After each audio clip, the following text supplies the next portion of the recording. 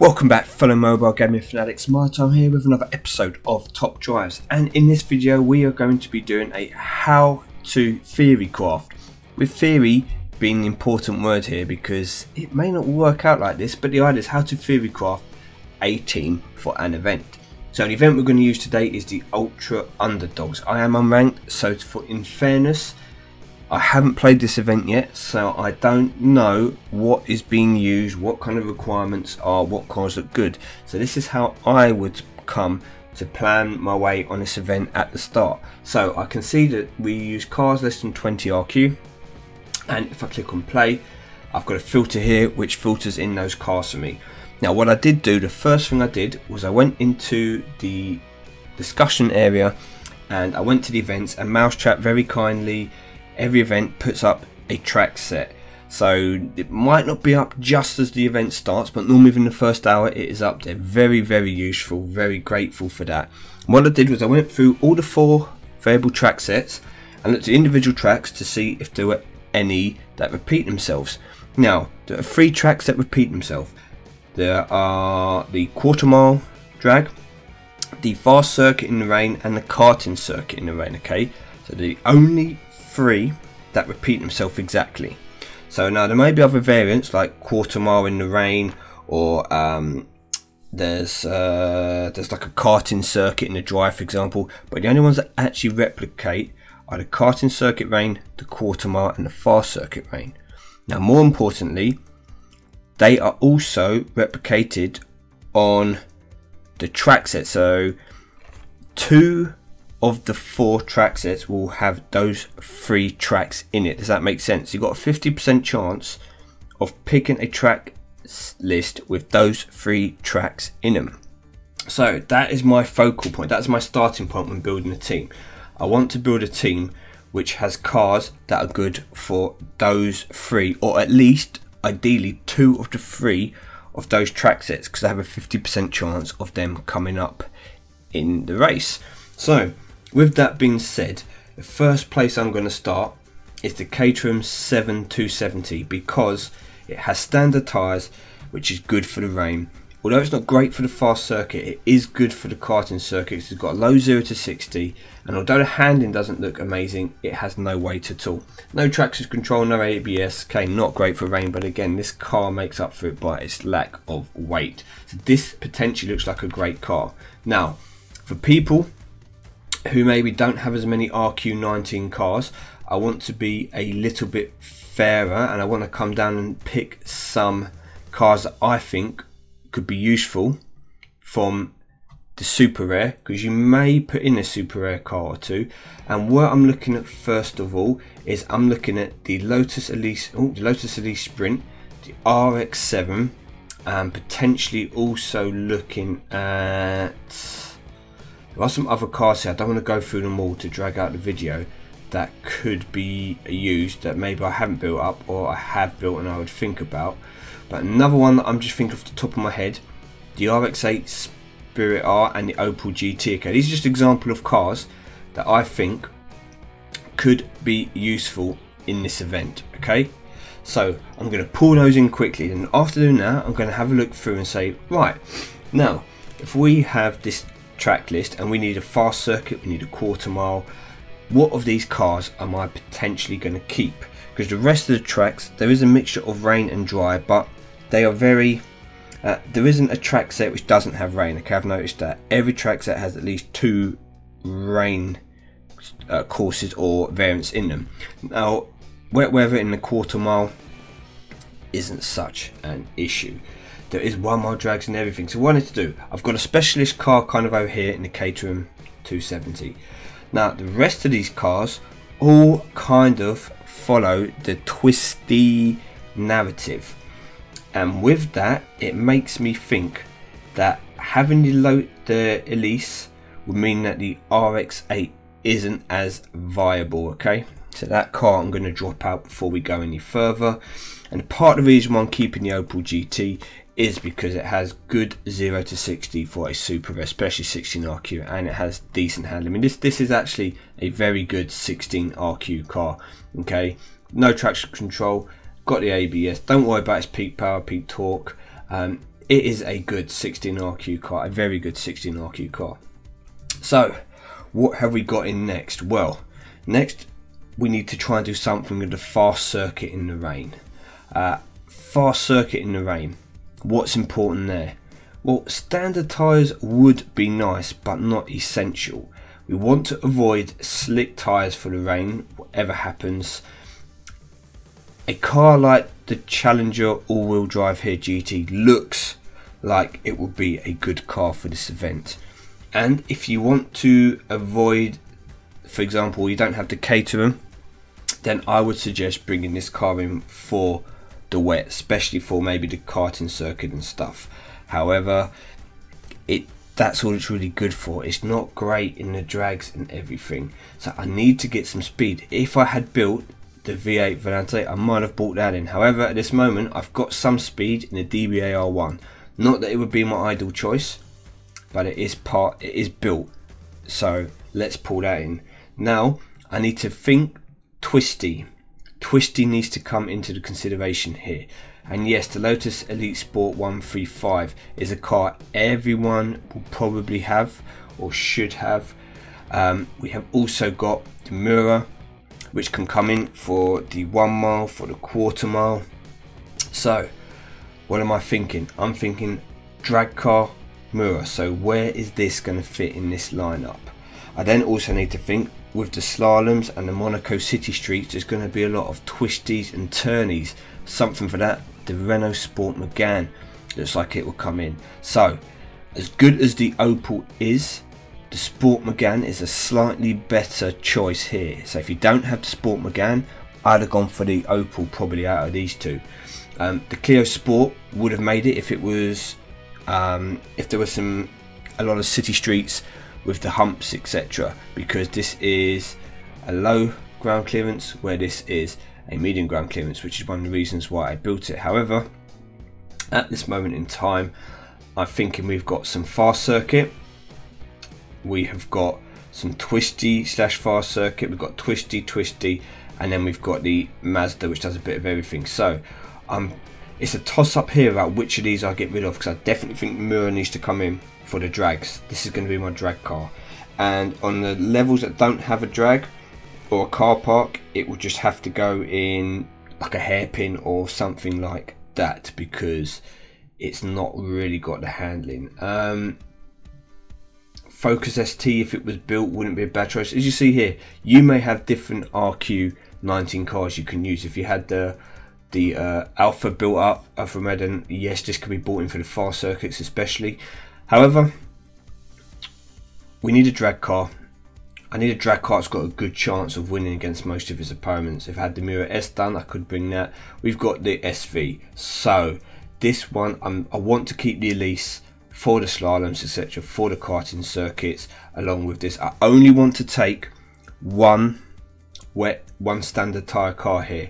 Uh, I could take a four-wheel drive. There is, there is an option for me to bring in this all-wheel drive uh, Challenger GT because there are two wet surface uh, circuits.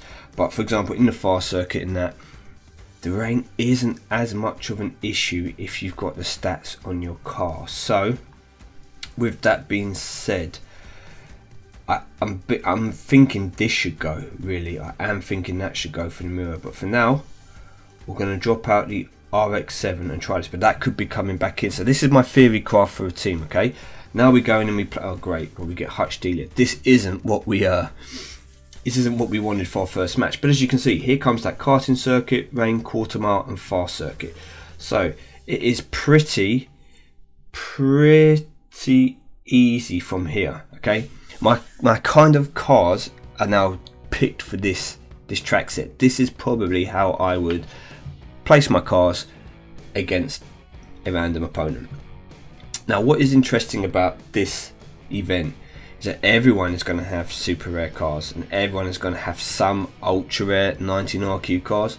Even if you haven't built them, you don't need to have the 19 RQ cars. There are plenty of super rares which are also going to be useful and decent in this event. So here we go. I'm just going to play the first person. Okay, this is what we want.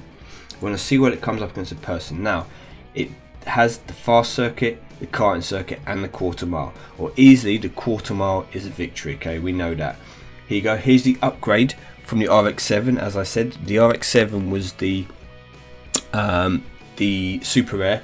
This is the upgraded version. Very, very useful car for this event. But karting circuit, we will throw in the Caterham. It is here for the wet. Fast circuit, we will throw in the DBAR1 on this fast circuit. That's kind of what it's there for. The karting circuit, we will take the win with the. I hope it's the. Uh, it might not be actually. Uh, let's see. Let's see. We're going to go through very quickly and have a look because it's going to be interesting. Right, so the DBA one, there you go, wins there. Only because of it's got uh, a better top speed. It's not got the handling or anything. It would lose on the twisty circuit, but it it it does okay in the fast circuit. So okay, the Elise does lose there, which will make me think I could bring in uh, Sport one three five instead. That's looking like being the play there. This is going to be a slight loss. I kind of knew that.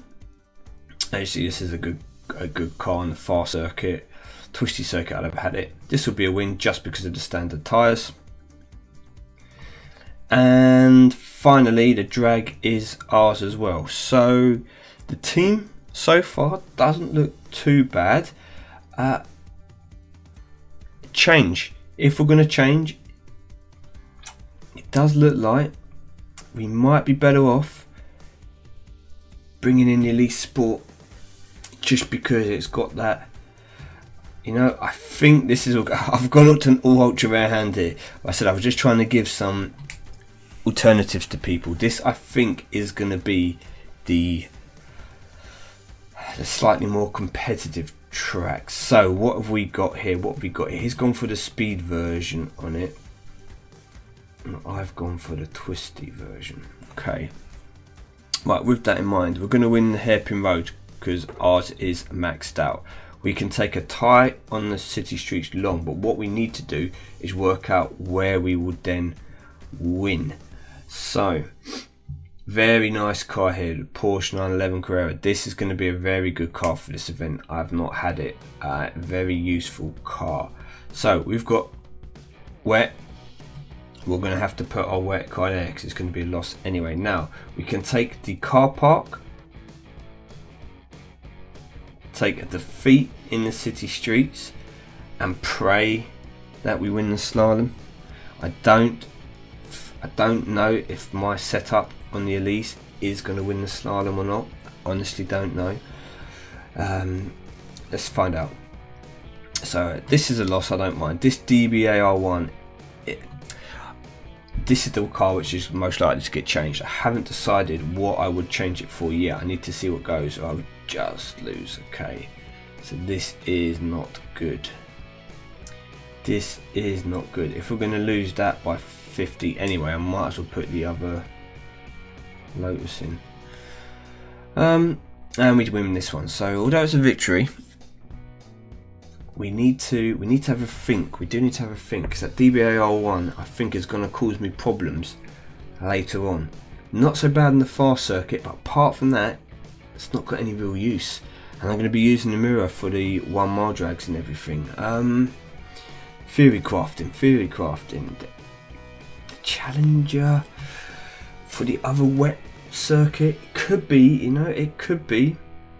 Um, I can try it, and if it goes badly wrong, take it out. I could build up the Lambo. Either of these two again. I just for the fast circuit the Countach could be. I think if you had this built, I would swap these two around.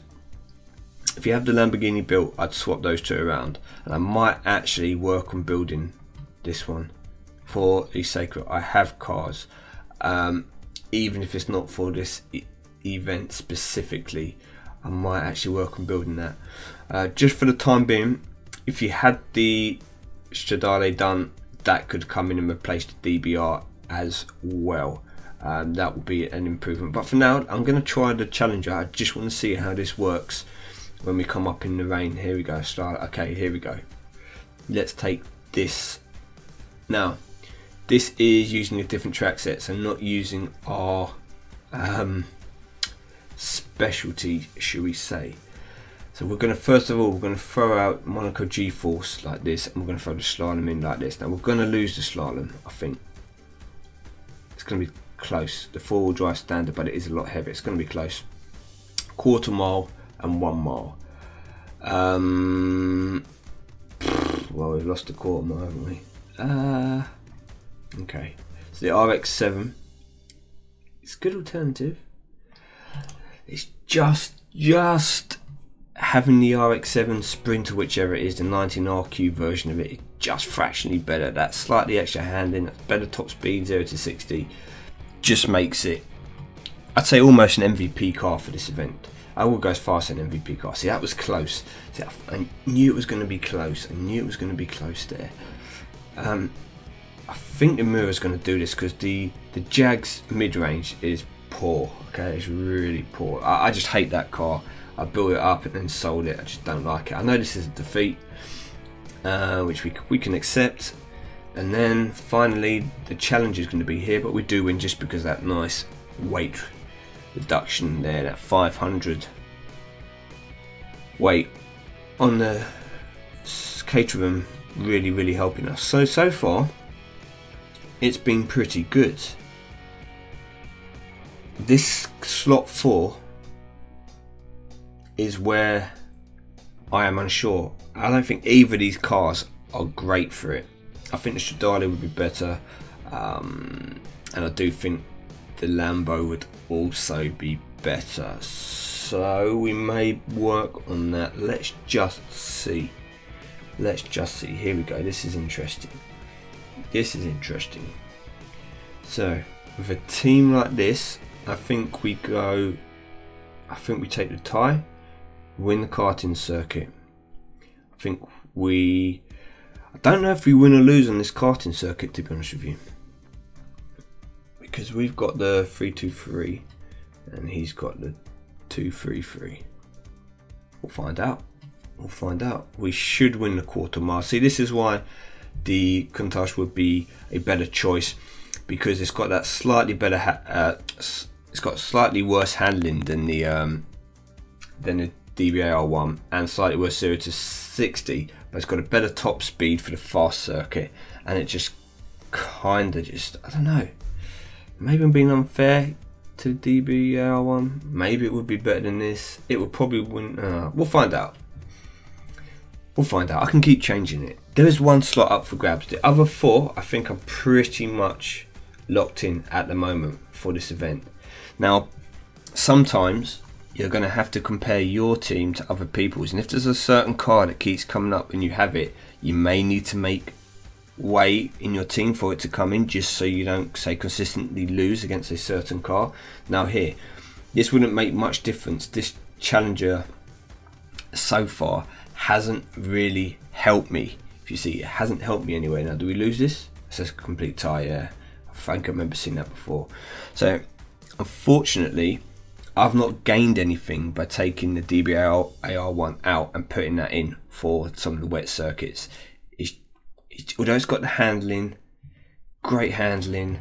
Uh, if it was a medium city streets or something, then yes, I could put that in because it's got the medium ground clearance. It would be better than the DBRA one. But in this current event, I don't think that the Challenger is going to help.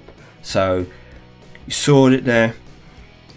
Looks like the Caterham, okay, 217.19RQ key car, okay, MVP. If you've got the RX7 Sprint, the 19RQ Mazda key car, and you're going to then need something twisty. I can't go in and show you like that. You're going to need something twisty. So I'm using that Megane. Uh, let's just scroll along like, rather than doing the RQ thing in the filter. Yeah, I was using the Megane. You're going to need something kind of twisty the golf would be great if it was one one down. So something with some speed. So definitely put in a drag car, okay. And the Lotus Elise Sport also looks like it's going to be a very, very, very useful car. So I've gone for the, the anything with a with some good handling and a decent for the for the tracks for the um, faster circuits etc and twisty circuits and then there's probably going to be a spot left open like in mine where there might be another car which is an MVP so if you find a car that is great in this that I could replace my well it's not going to be the GT it's going to be my DBAR1 now wherever that is. So if you can find a car that replaces my what's going to be Aston for now that I have it could have been a it could even be in the 18 17 rq so you could maybe make them out say you know what? You're still better off to put in that lotus elise a sprint for 18 rq and just you know it will although it's going to lose on some circuits it will actually help you in this place. Please let me know and i'll definitely look to do it. So with all that said i'm going to say thank you very much for watching. I've been MyTyme. Good luck in this ultra rare